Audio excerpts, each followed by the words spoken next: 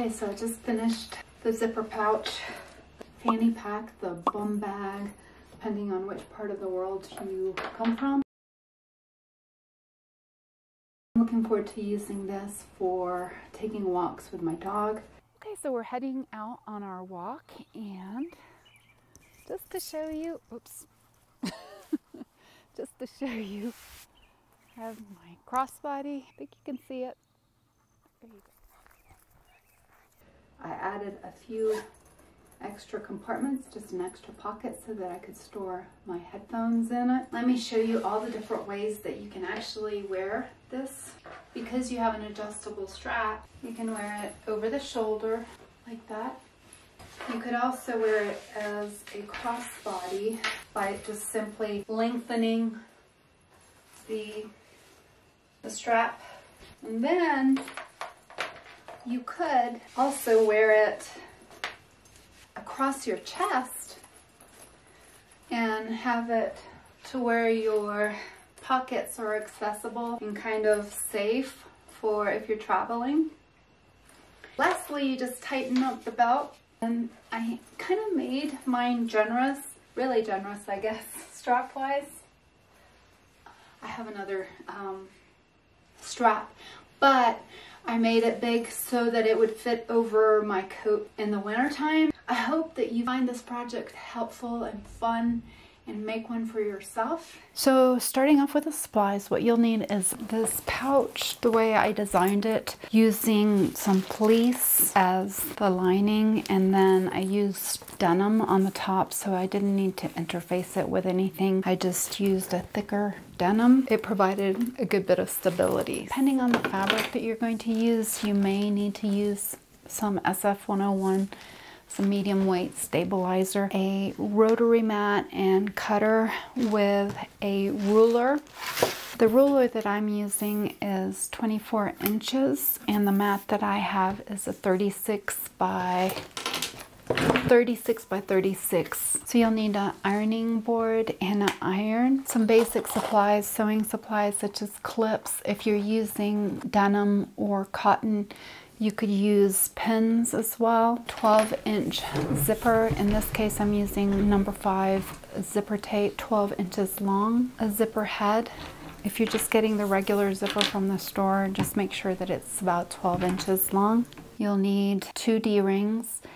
My hardware all measures one inch, but just use whatever you have on hand. Whatever the width of your hardware is, you'll want to make sure that you multiply the width times four to get the right uh, measurement in fabric. A slider and two lobster clasps. I'm using swivel hooks, some snips. For the sewing machine, I'm using a Microtex needle and I am using some polyester thread. I'm going to be using some rivets. Now this is just optional accent, but I'm going to be using some antique bronze 8 millimeter rivets. You'll need two and then a rivet press if you have one. If you have a handheld, that will work as well. Again, this is optional. And a hole puncher is useful. I like using a stiletto sometimes to guide the fabric. An air and water soluble ink marker. Just always test it out on your fabric to make sure it doesn't leave a mark. Some bag tags if you have them. Okay, so for your fabric pieces, you will need four by four inch squares. For the strap, I'm using some denim fabric and the measurement is four inches in width by 66 inches. Then I'm using some fleece batting and this will provide a good bit of stability for the bottom. Rectangle is measuring 11 by 8 inches. You could use all of the same fabric if you'd like. Oh, and a sewing machine, obviously.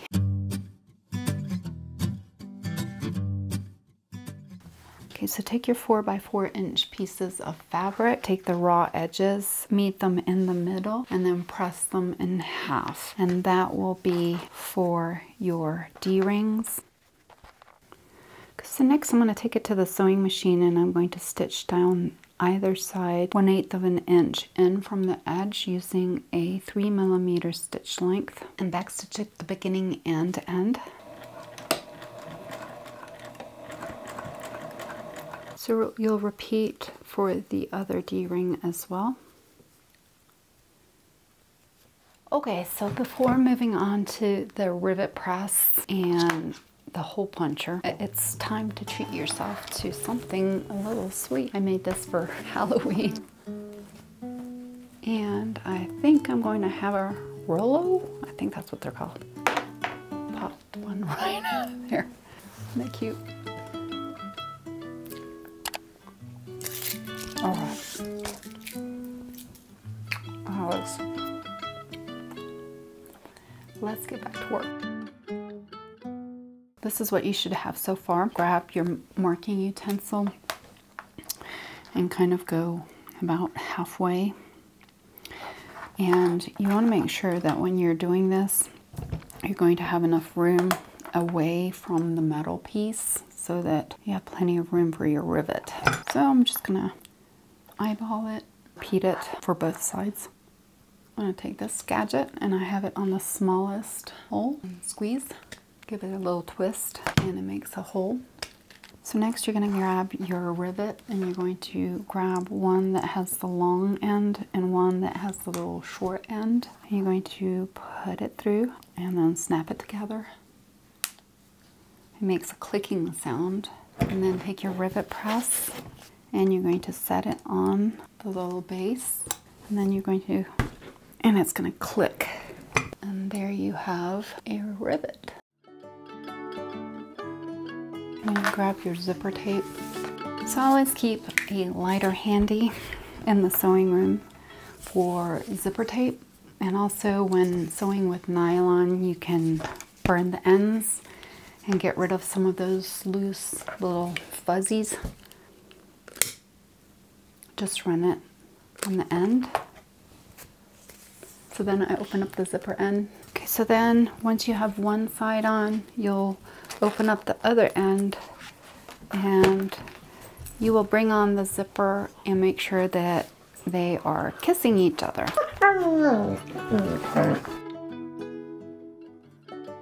Okay, so you have your clamp on the end of the table. So you're gonna slip on the zipper head so it's holding the tab on the other side and the rounded part is facing up. And then you're going to put, so this side is the right side of the zipper head. So I want to make sure that the zipper teeth are going with the right side.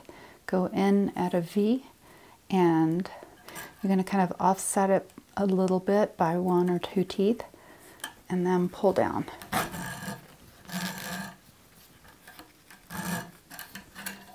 So there's one zipper tab on and then you're going to repeat it for the other side.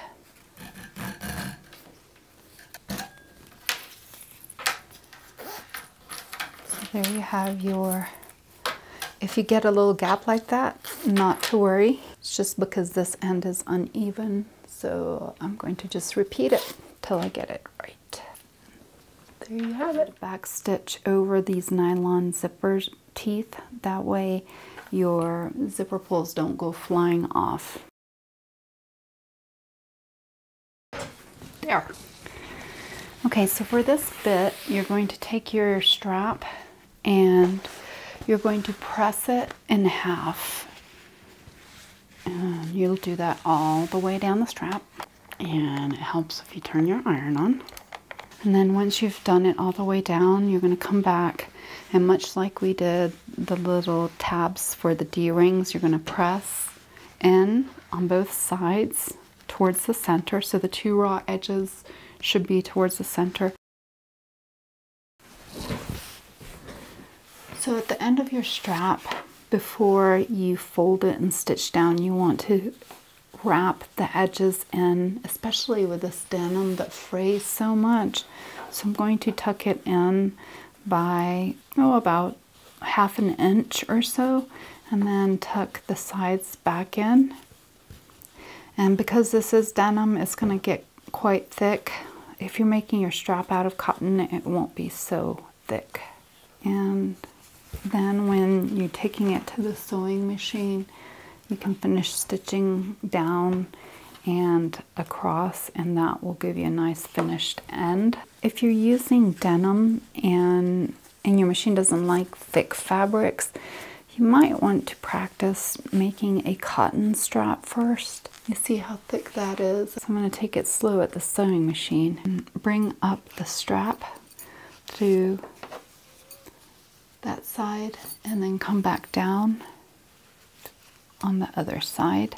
And at this point you want to make sure that you have about an inch or so. And this is where you have the option to rivet press it if you'd like or you can take it to the sewing machine.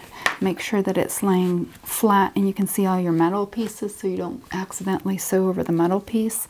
But you will you can sew a box. You can also put a crisscross at that point. I think I'm actually going to rivet press that down. And it secures the rivet. You're going to put it the buckle facing the right side up and go all the way to the other side making sure that it's not twisted. And you're going to take one of your swivel hooks and you're going to put it on with the swivel hook facing the right side which is up.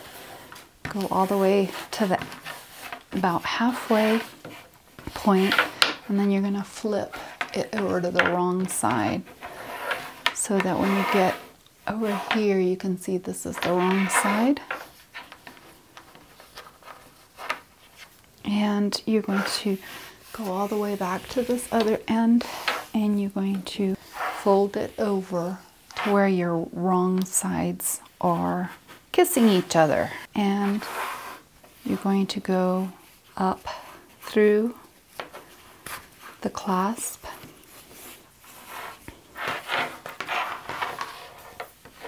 So you're making sure that nothing's twisted.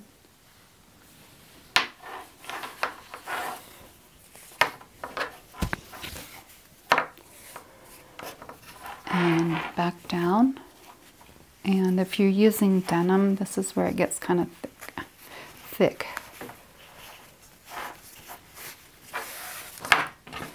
Ah, see? So this is looking like a strap.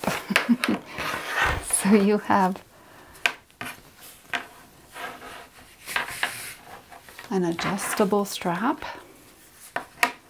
there. And you go all the way to the other end. So this is right side facing up. And you're going to grab your other lobster claw and you are going to put it facing up and then all you're doing is folding over so you've got the fold to the wrong side so you can see it's on the wrong side of the adjustable strap and again you finish off by sewing a square with an X box in it or again you can use your rivets and rivet press if you have one mark a spot in the center. You just want to make sure it's not wonky when you hole punch it or sew it. That's where your clips come in handy. And the strap is now done. Set it to the side. Winter has finally abated. The aspen leaves are out.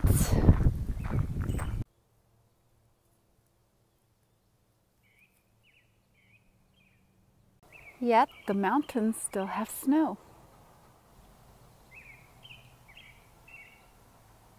So grab the piece that is six inches by eight inches, right sides facing up. You're going to fold it right sides together. And you can pin or clip this. So down the sides and over leaving a gap at the bottom. Back stitching to strengthen that. We're going to turn it. And I'm going to sew with one quarter inch seam allowance with a 2.5 millimeter stitch length. Take scissors. Trim it down to reduce the bulk. Now it's time to turn your pocket. It's a tiny little pocket. And just push out your corners.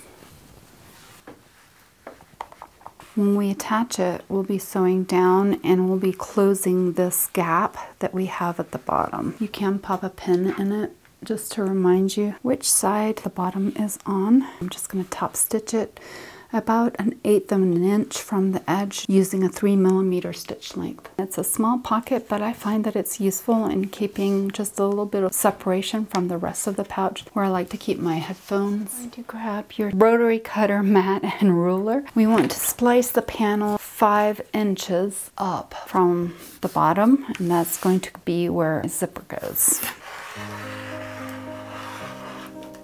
Okay, so there's one panel. And then what I like to do is one of the denim.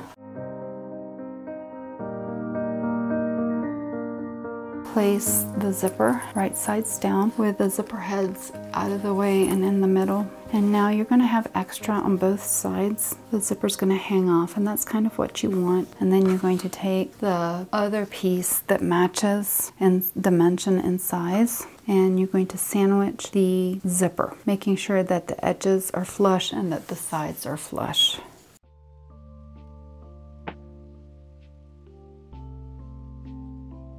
Sew across with a 2.5 millimeter stitch length about a quarter of an inch away from the zipper teeth. Go ahead and put on your zipper foot if you need to. I have my narrow foot on so I don't need to do that.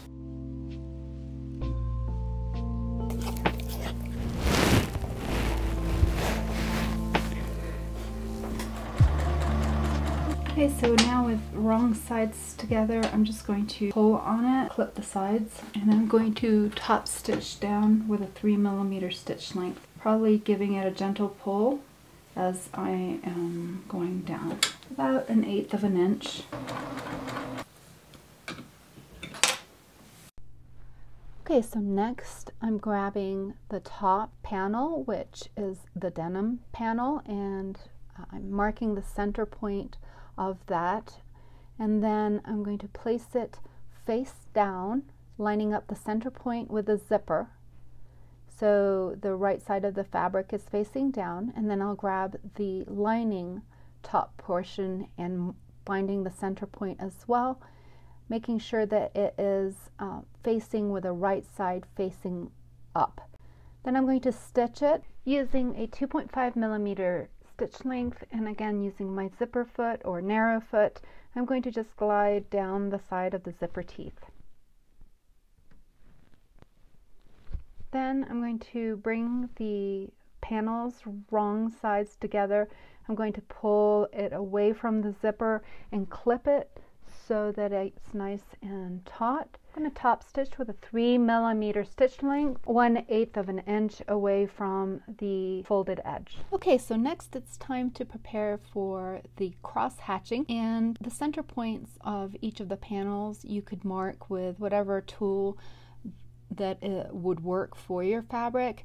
I'm actually using a bar of soap on the denim because it shows well and then you'll see me in a minute um, I switch to the, the air erasable marker. I'm making the cross hatch marks one and a half inches apart from each other. It's time to grab the fleece and cutting four inches from the bottom and I'm making a panel that will sandwich between the front and the lining and I will repeat the process and cut a two inch strip for the top Then at this point, if you have a bag tag, you can go ahead and add it. Completely optional. So I'm quilting only through the cotton fabric and the batting. I've pulled the lining from behind out.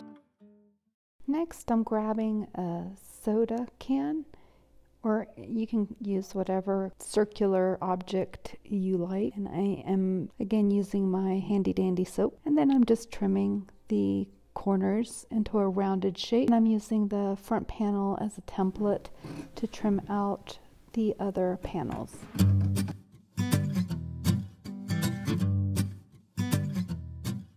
Now I'm taking the lining and placing it under the front panel and just opening the zip to verify the correct placement. Next I'm taking another floral panel and this time I'm placing it right side down and I'm stacking the exterior panel on top just using it as a tracing tool. So you can see that I have the front panel and lining and then the other lining is for the center panel and repeating the process of rounding the corners.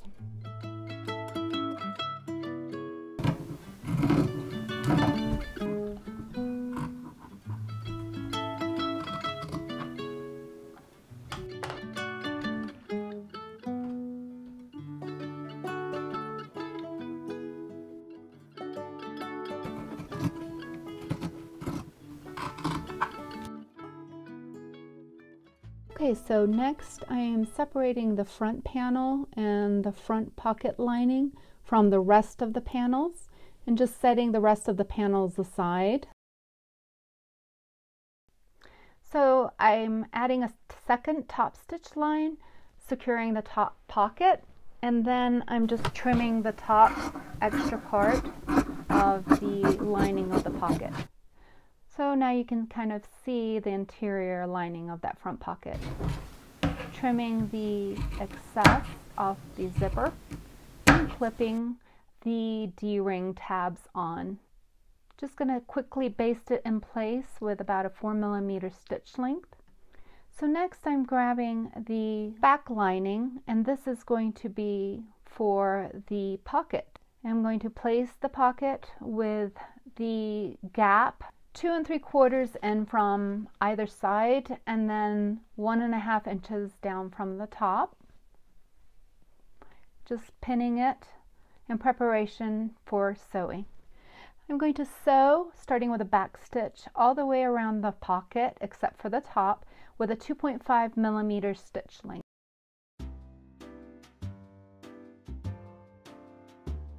Next I'm grabbing the zipper for the top main pocket and I'm just finding the halfway point. I'm going to place it face down on the front panel, making sure that the zipper is when it's facing down on the right side of the fabric, the zipper head should be off to your right. And then I am attaching the floral lining. I'm just aligning it to the top and aligning the center points up with the zipper. I'm just going to clip it together so right sides should be facing each other.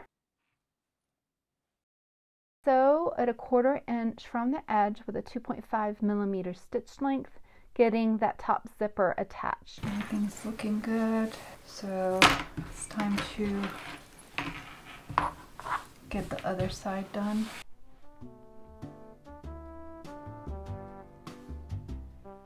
Next, I'm going to find the halfway point of the lining that has the pocket on it, and then also finding the center point for the exterior back panel. So making sure that the pocket is going in the right direction, that is towards the top of the pouch. I'm lining the front panel and the lining on top of the floral lining that has the pocket on it, and then sandwiching the last denim panel on top with the right sides facing down.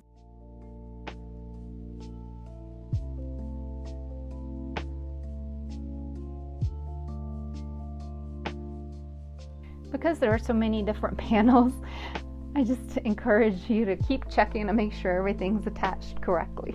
And clipping down the sides. I'm going to sew one quarter inch from the edge with a 2.5 millimeter stitch length.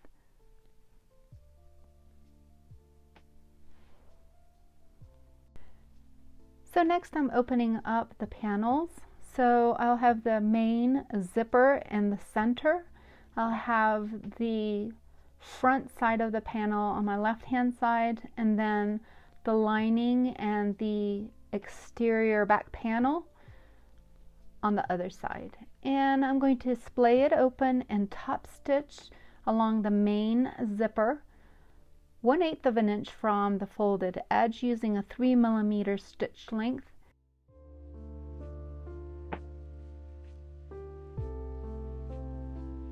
Okay, so next I am making sure that I separate the lining pieces to one side and I'm kind of pulling it taut. Same thing, I just flipped it around. And now it's time to make sure that the zipper teeth are folded. The zipper is the correct side of the zipper is actually pointing towards the main panel and then flipping the exterior back panel back on it on top of that, isolating the lining panel to one side and clipping. Now marking about a four inch gap in the lining panel and then I'm marking one and a half inch squares in each of the corners and cutting out the corners to make the box corners. So then I'm going to sew 3 eighths of an inch in from the edge except for at the turning gap. I'm going to leave that open. You want to make sure that the zipper in the middle is open and then I'm going to be using a 2.5 millimeter stitch length and not forgetting to back stitch at the beginning and end of each of your stopping points.